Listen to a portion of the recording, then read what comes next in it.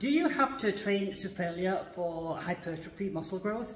Well, the truth is no. For hypertrophy, you want to get close to failure, but not you don't actually have to get to failure.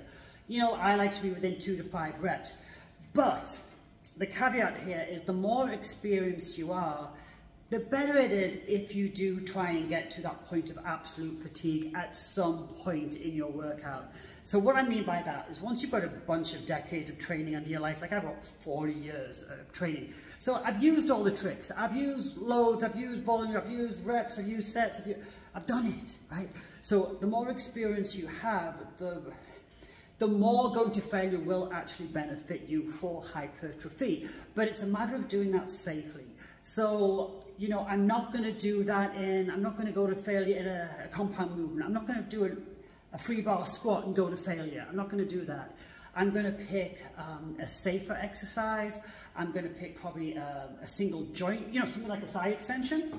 I'm going to pick something like that, like a single joint movement, a safer exercise uh, to go to failure at um, you know less risk. I'm going to probably also pick for it to be the last set of the workout and just burn it out. But yes, the more experienced you are, failure is something you should seek at some point during your workout.